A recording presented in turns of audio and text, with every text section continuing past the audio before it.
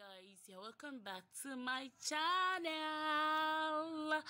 So in today's video guys i tried the jamaica locs crochet on my own hair to see how it's gonna look on me. So and this is what i got after that. So i decided to share with you guys. So if you want to know how i achieved this hairstyle this particular one you're looking at just stay tuned and don't go away guys. So guys i'll be using um jamaican locs crochet for this tutorial. Uh it's very very long and it's not too uh tiny. So and it's not less as well. The two ending part is not less. It's, it doesn't have a knot on it but i'm going to create my own knot for me to be able to achieve this hairstyle. So because it's too long and i didn't want it to be this long i had to now cut it into two. One it's too long. Two i was making sure that the one pack which i got will be enough. So i decided to share it into two. After that you split the side that you cut from. You know each side has a mouth though it doesn't have a knot that particular place that you have a mouth is not where you will knot this. You will use the side you which you use your scissors to cut. You will scatter it and uh, make a knot with it which you're going to use to crochet it into your hair. So i pass it into the crochet pin and uh, form a knot with it. Just like as i'm doing on the video like we normally do individual uh crochet so i pass the remaining part of the crochet into the knot and bring it out from the other side in order to seal the seal the waist. So just just as i did on this video. The next one i'm to pick up that i'm just catching is the one i'm going to use to tie it all to the end or to where i want to stop it.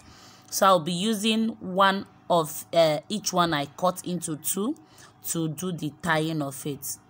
I will scatter it i'll make sure it's smooth. Then uh i'll make sure there is nothing like a lump on it. I will then crochet it into the same hair the same single braid I made. You crochet it into it.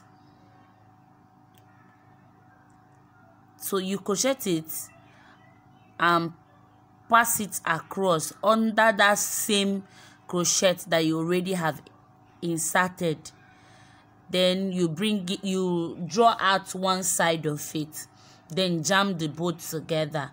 Then I had to now uh, hide in my uh, normal braid inside the crochet the first crochet i inserted. Then i started uh, wrapping it around this is how i'm going to wrap it around till i get to where um it stopped. And while you are wrapping as soon as the one you're using to wrap finishes you still take another one which is exactly what i'm going to do because that one was short in the sense that i cut it into two. So i'm going to take another one now to continue from where i stopped. I'm doing the way i'm doing on this video because i wanted it to be smooth. You know it's not easy to make your own hair so i just pray that it comes out well and it did. So you now pick up another one and continue on top of the one you just finished. That's how you're going to wrap it around until you get to where you want it to stop. Though i'm using a lighter to seal the mouth you can use to tie it you can decide to tie it up or use a lighter and seal the mouth but i use a lighter to seal the mouth of this one so this is how i'm going to uh do to all of them till i finish this hair. Just let me allow you guys to watch the video. I think you understand it better till we meet in my next video. And please if this is your first time here don't forget to subscribe to my channel. Give this video a very big thumbs up if i tried.